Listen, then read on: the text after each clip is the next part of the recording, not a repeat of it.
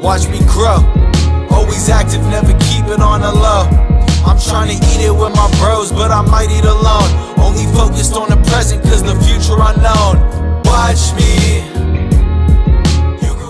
What's going on, everybody? You're tuned in to another episode of the Peaceful Leaders Podcast with your host, Leezy the Gifted, where I bring you a brand new episode every single week documenting my journey as an entrepreneurial musician. I'm very excited about today's episode. This is going to be the second episode of the Peaceful Leaders Podcast, and what we're going to be doing is talking about controlling what you can control. Control what you can control. All right, before we start though, obviously want to remind you if you're enjoying what you're watching, subscribe to the YouTube channel, like the video, and comment. That helps a lot. If you're listening to this as a podcast episode, do me a favor, share this with somebody, leave a comment and a review. That would literally help a lot. It would help grow everything. I'm pretty much doing this for free just because I want to impact people. So if you could just help me out by doing those things, that'd be awesome, and I appreciate you a lot. So, let's get into it. Controlling what you can control. So, what do I mean by that? A lot of times when things don't go right, things go wrong, we fail, we go through frustrations, what we want to do is blame.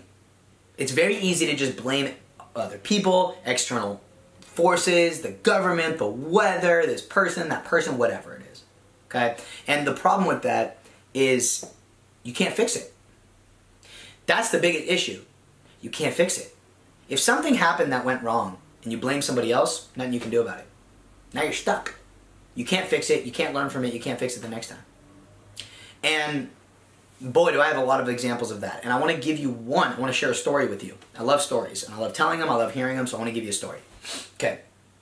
So, recently, back in September, so we're in March of 2022, currently recording the episode. We're probably going to be, you'll probably be watching it, it's going to be May, but, or April or May or something, but we're around, you know, first quarter of 2022, and I had started, restarted my marketing agency, Prophecy Media, back in September of 2021 was doing my thing, pivoted, started working with realtors, ended up having another team member come on. I had a team member come on, you, would call it a media buyer. It means somebody who basically runs the Facebook ads and all that stuff for your clients. Well, we were doing fine. Things kind of were working really well. I had gotten a, a bunch of sales in one, one month. I actually closed three clients in a week in January, which was awesome. I was like, wow, there's a hot streak. Me and him were killing it. The problem was I had listened, this is going to sound like blaming, but I had listened to him on what exactly the offer should be. Because I was like, dude, I don't even know how to run all this stuff. Like, you know how to run it, you're experienced. Help me figure out what we should do and what you're capable of doing. And he's like, all right, well, we can do this, this, and this. It's like, all right, great, this is what we're going to sell people on. I sold people on it. He couldn't deliver on that. I couldn't deliver on that. So the deal was if we don't deliver the results, we'll work for you for free for the next month. That was the deal. Well, didn't deliver results for any of those three clients. Really pissed me off. But that's okay. I said, I'm going to take ownership. We're going to work for free for the next month. Next month comes around. He ghosts me. Yikes. He ghosts me, doesn't answer any of my texts. We did get in contact once, and he's like, Don't worry, bro, I'm to be way more responsive. That was a lie. We ended up literally just, he just completely ghosted me. I'm like, Oh shit. I got people who paid me. I have a promise to fulfill to them. How do I fulfill this promise? I could have gone to all of my clients and totally blamed him, but I didn't because it's my responsibility. It's my fault that that happened. It sucks. It sucks. You know, I fucking hate the guy. I really want to slap him across the face, but I can't do that. Like I'm not I'm not going to be able to do that. And that's not going to help anything even if I did do that. The point is, in life and in business, you got to take control of everything. That's the toughest part about being a CEO, an entrepreneur, is doing like you have to take all that responsibility. And so it happened. So you got to just control what you. So what can I do now, and what can I do going forward? First of all, no matter what, pick the right people to work with. That's a that's a no brainer. I should have been a no brainer from before. But the other thing too is make like. I think in business specifically, Make sure you can deliver what it is you're going to promise people. But, this is a big but. That doesn't mean that you should be hesitant, and that doesn't mean you should be resistant to making a big promise. Make the promise first, then go figure out how you're going to get that promise delivered. in the marketing world with marketing agencies, market sophistication is at an all-time high. Like, and it always will be. It's always just going to get higher. But what I mean by that is like, marketing agencies are able to sell and promise like very valuable things. Like the agency I currently work for, and the guy that I work with, what we're able to do for our clients is it's like amazing. What we're actually able to do, by the way, like we're actually able to deliver our promises. Not like I was able to do for mine, but what we're able to do, we can deliver. We do it all the time. It's a very high ticket item, and it's like, wow, like that's hard to compete with. But we had to because that's what those other marketing agencies that are doing stuff that's like that. And you don't want to scale back your promise because you can't deliver it. You need to go figure out how to deliver what you really need to to close these clients and then sell them on it. Um, with music, like if you're a musician, you gotta stand behind your product. Like you need to be like, yo, this is the hottest song of the year. Like every song you put out, like you should feel like, yo, this is the one right here. Like, and you're promoting it like, yo, you need to come listen to this song. This song's gonna change your day. This song's gonna change your life. Like this song's gonna be like, you're gonna love this song. Guarantee it. And like I guarantee if you don't love this song, like, don't ever listen to me again. Like unfollow me. Like I'm cool with it. You know, like you gotta have that kind of belief in what you do. And just control what you can control. Like everything else, like that's the scariest thing about being an entrepreneur is a lot of things will fall back on you that you can't control. It's so scary. So scary. It's so scary. But it's the most rewarding thing that when you pick the right people, when you pick the right folks, when you work with the right folks, good stuff happens. You're like, oh yeah, this is worth it. Same thing with music, same thing with anything. It's a difficult journey to be on, to be an entrepreneur. It's like really hard. And I don't think I have an amazing sense of what the whole world is talking about. Like, I don't think I have a great pulse on the world because I'm kind of just in my own zone and doing my own thing. I, but I still think that the word entrepreneur sounds cool. And I think I think it's like a trendy like buzzword still. I but I I somewhat think that that word's going away because if you know any entrepreneurs or you yourself are an entrepreneur, you realize that it's not like cool to be an entrepreneur. It just is what it is. It's something of pride. You can take pride in being an entrepreneur, but you have to realize that like it's super difficult. It's the most difficult thing. Way more difficult than anything else. Way more. Extremely scary.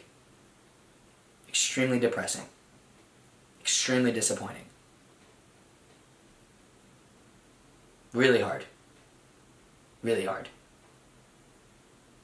And you do not get any credit for showing up. And I think that's true in life, but especially if you're an entrepreneur. Like you do not get credit for showing up. Um, I think that in the music world, we need to be more like entrepreneurs. We need to be more focused on like business. Um, that was one of the things that I got very angry about with music. Um, it, meaning like, I got very angry about the music, the music marketing industry of like YouTube, and like the courses and like what other artists would say and just like, just like all that. I just got really like frustrated with it because I just looked at all of it and I was like, man, you guys are just full of shit what I love about the business world and especially in the marketing agency world, I really love what we're trying to do. Um, I was I'm in a I'm in a uh, coaching program right now for for marketing agencies and like the whole goal is to get to hundred thousand dollars a month in revenue. One hundred thousand dollars per month in revenue. That's dope. Okay, I'm like, oh yeah, that's that's good. I hear that and I'm like, yeah, that, that. Um, it makes you raise your It made me raise my frequency. It made me raise my expectations. It made me raise what I thought was possible. Because what, what was I hearing before? How to get your first 10,000 followers on Instagram. How to get 100,000 streams. How to get 400,000 streams on Spotify. It's like that doesn't excite me at all. Like those things don't excite me. Even before I had 10,000 followers on IG, that didn't excite me. Always the goal was to make money with music. Not from the beginning. The beginning it was express myself. But when it came to like why I'm on YouTube searching for marketing tips, it's all about making money. Like that's what I'm trying to do is make money with music. Well, you need those things to make money. You don't though, that's the thing. I love in the marketing agency world, there's not like there's some bullshit here and there, but not like in the music, not like in music. In music, there's like, wow, there are legitimately people on on YouTube who are like who have not made money with music, but they talk about marketing music. It's actually like insane to me. In the in in the agency space, it's kind of the same. There's people who like they're making twenty thousand dollars a month with their agency, and they make that number sound so big. Like we're making twenty grand a month, and it's like it's not that cool of a number. It's not. Um, it's not that good. So it's it's all right. It's good. It's good, but like to be, I don't know. Like where I look at things, like the way I look at it, I'm like, dude, like you shouldn't be putting out a co- coaching a coaching program and a course if you're doing twenty grand a month. Like that's not shit. There's there's people out there doing three hundred thousand a month who are like, I'm not doing a coaching program. And they're like, why would I do it? I'm not because they don't need because they're they're freaking they know how little they are. Isn't that funny? Isn't that really funny by the way? The people who are doing bigger numbers are the ones who don't think they're shit, and the people doing the little numbers are the ones who think they're big shit. They, the ones who are doing the little ass numbers, are the ones putting themselves up to this pedestal, like that. That's so cool. Um, and also like, wow, this got way off topic, and I don't give a hoot. It's my show; I can do whatever I want. The other thing too is like revenue. Like, like revenue is great. Like revenue is important. Like you need revenue, but I'll give you an example. If you're an agency owner and you're doing 30 grand a month, oh, cool. But you got 30 clients. That's like, I don't think, I, Lee Litvin, I'm not talking about what is and what isn't, I'm talking about Lee Litvin doesn't think that's cool. I think you're at a great place. I think you're at a great place. Like, awesome. But, like, you shouldn't go put together a coaching program. You have a ginormous bottleneck in your business that's, like, obvious as what's in the mirror. Like 30 clients and you're doing 30 grand a month. Like that's that's that's way too low ticket. Like for me, I'm looking at that like like and by the way, I'm not coming from a place of I have a hundred thousand dollar a month agency. I don't. But I wouldn't want to own an agency that's doing that. I wouldn't want I'd rather be where I'm at right now than own that agency. Because like that agency, like that shit ain't scalable. You know how many team members you need to fulfill 30 clients? You have 30 clients. 30 clients. Bro, my apartment, I don't even think I could fit 30 people in my in my apartment. I could not fit 30 people in my apartment. Like looking around trying to figure out how that would even like what I'm trying to say is like you have that many people, dude, you have like a lot of mouths to feed, you have a lot of problems to solve, you have a lot of fires to put out, like nah. Like, you got a job. That's fine by the way. At first every entrepreneur has a job before they can really own a business. But like I'm not into that. I don't think that's something to brag about. I don't think that's something to go share. Like, you should share that what you're doing. But I like people like that sometimes put out courses. Okay, you're doing 20 grand a month. That's great. But like, what's your profit? And then, and that, you know what's funny is I'll ask things like that. Hey, you're doing 100,000 a month. Like, what, what do you take home? Well, we don't share those things because I've never gotten a good reason why people don't share that, by the way. I've never gotten a good reason. Maybe it's a taxes thing. Maybe they want to, like, maybe they're doing some little tax evasion bullshit or, or they're trying to write things off. And if they say their take home, they'll get in trouble. I, I don't know, but, but I haven't gotten a good reason as to why people don't just share their profits. You know what I mean? Um, if you have a $100,000 a month agency and you have 20 employees, it's like, wait a minute, you've got 20 employees. Like, huh. I wonder what you're taking home. Like, you might, and it could be just one of these cases of like you're investing. so you're not taking home a lot of money now, but you're gonna you're gonna take home some in the future. Cool, that's what's up. Like that, I get that.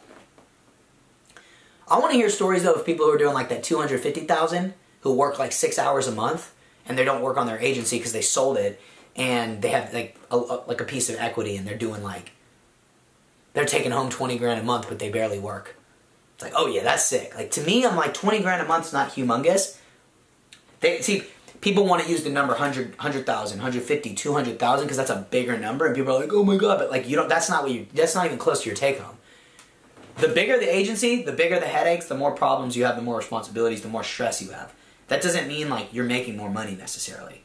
There's some people who own um, a $20000 a month agency who make more money take home than the $100000 a month agency. Because to run a $100000 a month agency you need more employees and you have smaller profit margins.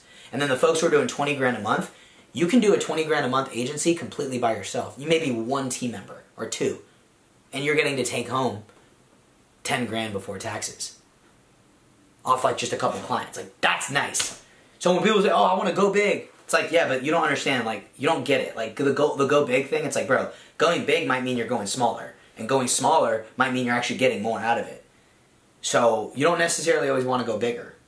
Sometimes you want to take it back and like look at look at everything. That kind of goes back with our last episode, self awareness. You kind of want to look back and be like, well, what am I really getting out of this? So I guess overall, like this episode went way off. Don't give a shit. It's my podcast. I can do whatever the fuck I want. But this, I like this topic. This is an important topic. It's something on my mind, and I'm happy we talked about it. So, last episode was about self awareness. This episode kind of talked about self awareness, but essentially, the episode was talking about. I kind of got off topic, but it was talking about control what you can control. We got off topic. Cool with me works for me. I don't care. It's my podcast, like I said. So, um, listen, if you liked this at all, like subscribe to the YouTube channel, comment on this video, like the video. If you're listening to this podcast, leave a rating, leave a review. You know, I know I kind of got off topic. I think there's some value in here too. I'm pretty, I'm pretty sure there was. If you're an entrepreneur, I'm pretty sure you're gonna get some good value out of it and like it. So, anyway, I appreciate you so much. Love you for listening to this, and I'll talk to you on the next episode. Peace!